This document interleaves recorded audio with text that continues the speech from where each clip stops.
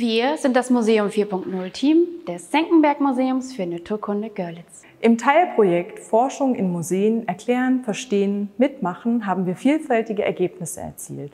Zum Beispiel haben wir unzugängliche Lebensräume für Besucher und Besucherinnen hautnah erlebbar gemacht. Einer dieser Lebensräume, die man sonst nicht erleben kann, ist der Boden.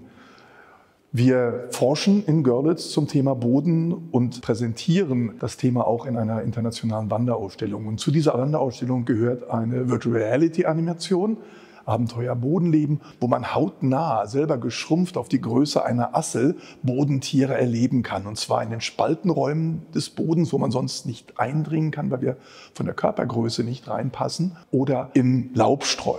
Die Nachnutzung dieser VR jenseits der Ausstellung ist uns sehr wichtig. So haben wir sie 26 Mal auf unterschiedlichen Veranstaltungen, unter anderem auf Wissenschaftstagen und Messen zeigen können. Nicht erlebbar sind auch historische Lebensräume. Deshalb haben wir im Neiseflug durch zwei Jahrtausende verschiedene Gebiete in und um Görlitz entlang der Neise zu vier verschiedenen Zeiten für die Besucher erlebbar gemacht. Das Besondere dabei, wir wollten nicht nur die landschaftlichen Veränderungen zeigen, sondern auch die kulturhistorischen und haben von Anfang an mit den Görlitzer Sammlungen für Geschichte und Kultur sehr eng zusammengearbeitet. Der Neiseflug ist daher nicht nur bei uns, sondern auch in den Ausstellungen der Görlitzer Sammlungen zu sehen.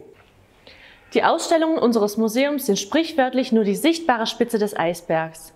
Mit einer multimedialen Rauminstallation, dem Datarama, ermöglichen wir den Blick hinter die Kulissen unseres Forschungsmuseums. Hier können die BesucherInnen in unseren wissenschaftlichen Sammlungen stöbern und schauen den MuseumsmitarbeiterInnen bei ihrer Arbeit, wie etwa der Präparation, über die Schulter. Auch lernen sie hier die WissenschaftlerInnen und ihre aktuellen Forschungsprojekte kennen.